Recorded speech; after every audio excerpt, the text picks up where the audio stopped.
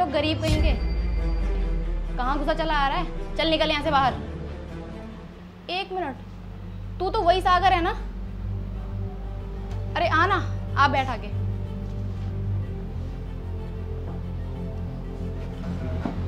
वैसे यहाँ क्या करने आया है? ओ इंटरव्यू देने आया होगा।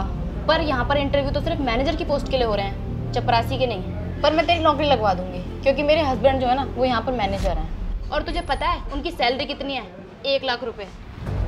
पर ये सब मैं तुझे क्यों बता रही हूँ? शायद ही तूने इतना सारा पैसा देखा होगा। और तुझे ये भी नहीं पता होगा कि उसके पीछे कितने ज़ीरो लगते हैं। चल छोड़ ये बता तू आजकल कर क्या रहा है? कुछ नहीं बस पापा का बिज़नेस संभाल रहा हूँ। ओ अच्छा मतलब तुम ढाबे को बिज़नेस बोलते हो?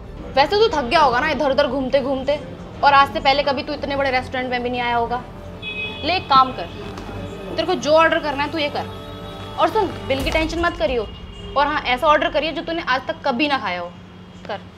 देख ले देख ले, पर प्राइस मत देखियो। क्योंकि मेरी तरफ़ से पार्टी है तुझे इन एडवांस क्योंकि मेरी जॉब लग गई है। और तुझे पता है मेरी सैलरी कितनी है? पूरे पचास हज़ार रुपये और तेरी औकात से बहुत ऊपर।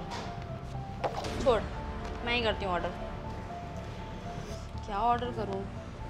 ऐसा क्या ऑर्डर करूँ जो इस गवार ने कभी खाया ना हो? हेलो हाँ जी पापा जी। हाँ बस काम ख़त्म करके आ रहा हूँ। चलो ठीक है मैं आता हूँ। ओके। अच्छा तो तुम चपरासी की नौकरी को काम बोलते हो? वैसे तुम्हारे पापा का कॉल क्यों आया था? क्या हुआ? ढाबे में आटा खत्म हो गया? सुन जैसे ही मेरी यहाँ पे नौकरी लग जाएगी ना मैं तेरी पक्का चपरासी की नौकरी लगवा दूँगी।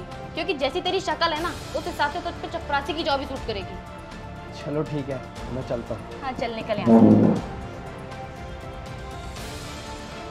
एक्सक्यूज मी हाँ जी। मैम क्या आप इन्हें जानते हो जो अभी गए यहाँ से? इस भिखारी को कौन नहीं जानता? और सुनो मेरे हस्बैंड को बोलना कि इसको यहाँ जॉब देने की कोई ज़रूरत नहीं है गरीब कहीं का। मैम आप इतना बिना सोचे समझे बोल रहे हैं। क्या आपको पता है ये कौन है? कौन है? प्रधानमंत्री है कहीं का? नहीं मैम वैसे ये इस होटल के ओनर है। क्या? ऑनर और वो तुम्हारा दिमाग ठीक है? मैम दिमाग तो शायद आपका ख़राब है। अगर आपको यकीन नहीं हो रहा तो आप अपने हस्बैंड से पूछ लीजिए।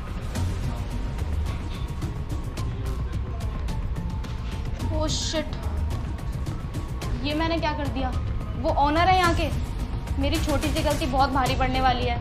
मेरी जॉब का तो पता नहीं मेरे हस्बैंड की जॉब भी चली जाएगी। मुझे उनसे माफ़ी मांगनी चाहिए। वो कहाँ मिलेंगे? सर अभी ऑफ़िस में ही है।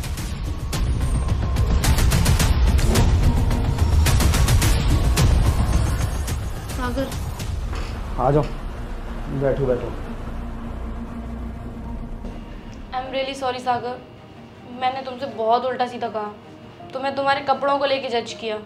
प्लीज़ यार, मुझे माफ़ कर दो। मेरी इस गलती की सज़ा प्लीज़ मेरे हस्बैंड को मत देना। उनको जॉब से मत निकालना। अरे नहीं नहीं। मैं तुम्हारे हस्बैंड को जॉब से नहीं निकालूँगा।